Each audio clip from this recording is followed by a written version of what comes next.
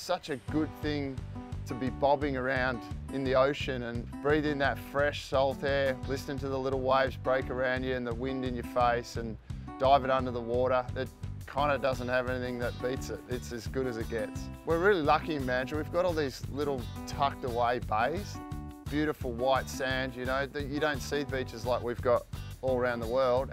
You've got the cafe there and there's nice areas to eat and barbies there and it's good to see the families just get around and often dolphins floating around you can launch your boat off the beach. There's surf, there's diving, there's everything right there.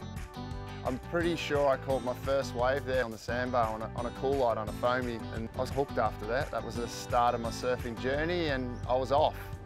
It all starts by putting your big toe in the water and then it just goes from there. Woolworths Surf Groms is a 5 to 12 year old program that's really good for kids to build their confidence in the ocean. Us as coaches, we're all here to look after the, the students.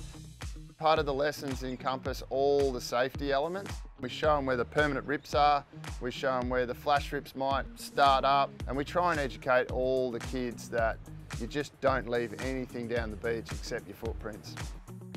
We also have a teen and adults program. Then we do a, a, program called Beyond Waves, which is ladies only. Then we do a, a, whole range of stuff in the intermediate and advanced, and a lot of that is after school programs, where I'll come down and video, and then we do some analysis back and hopefully uh, improve your technique.